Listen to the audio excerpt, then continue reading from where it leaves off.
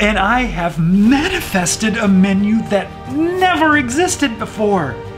I keep telling people I'm a self diagnosed. Do I have to do this every time? Yeah, as a self diagnosed genius, I'm amazed by the things I don't know. I've been using Procreate for a long time, and it turns out there's secret features, hidden features, extremely well documented features that if I had done even a cursory Google search, I would have discovered, but I didn't know them, which means they're secret. I'm gonna show them to you.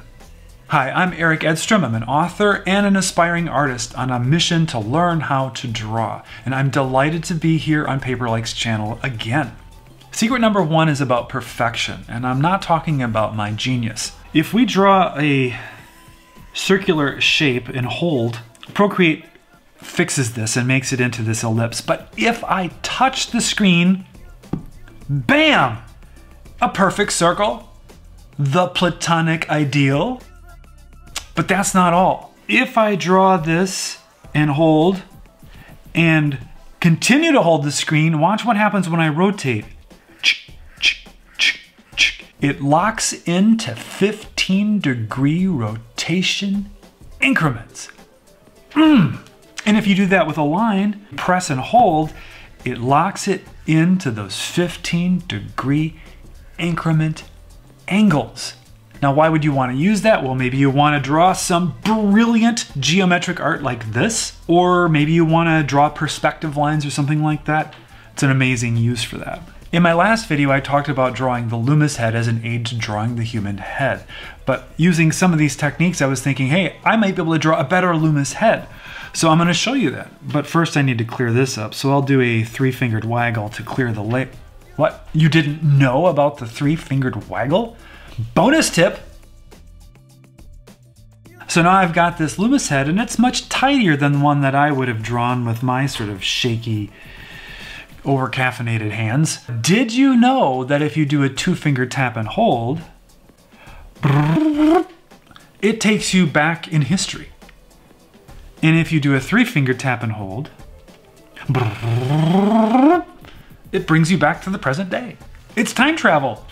Okay, because my skill at drawing heads isn't that great, I'm thinking I want to draw a lot of faces on this view of the Loomis head. So I'm going to do a three-fingered swipe down on the screen. and I have manifested a menu that never existed before. It's the copy and paste menu. Mm. I'm now going to hit duplicate.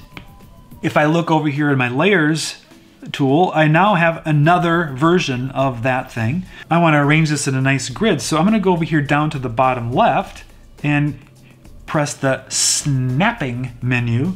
And now when I move this around, you can see that it's giving me these little guidelines of alignment and it snaps into place. So by doing this, I could create a grid of this view of the Loomis head and start drawing in my beautiful, lovely faces I don't call myself a self-diagnosed genius for no reason. So the next secret is very subtle, very technical. Now right now I'm drawing my brilliant face in orange. And you can see that it's in the top right corner, it shows orange. But if I want to switch to blue, watch what happens if I tap and hold. It turned to blue, and now I can start drawing in blue. And if I do a tap and hold, it switches back to orange.